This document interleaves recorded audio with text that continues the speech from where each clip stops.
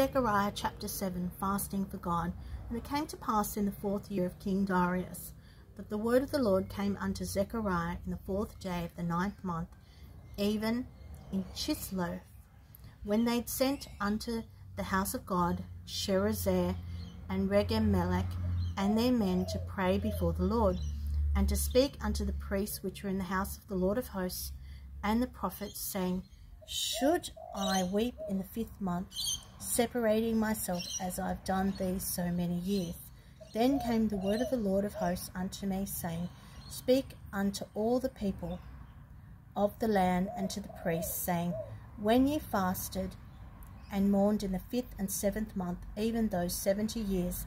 did ye at all fast unto me, even to me? And when ye did eat, and when ye did drink,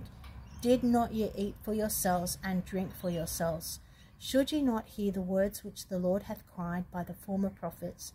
when Jerusalem was inhabited and in prosperity, and the cities thereof round about her, when men inhabited the south and the plain, God's standard of righteousness? And the word of the Lord came unto Zechariah, saying,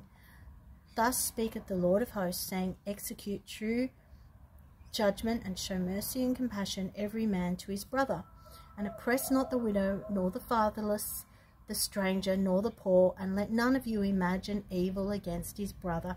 in your heart. But they refused to hearken, and pulled away the shoulder, and stopped their ears, that they should not hear.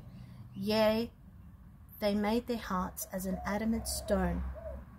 lest they should hear the law and the words which the Lord of hosts had sent in his spirit by the former prophets. Therefore came a great wrath from the Lord of hosts. Therefore it is come to pass that as he cried, and they would not hear, so they cried, and I would not hear, saith the Lord of hosts. But I scattered them with a whirlwind among all the nations, whom they knew not.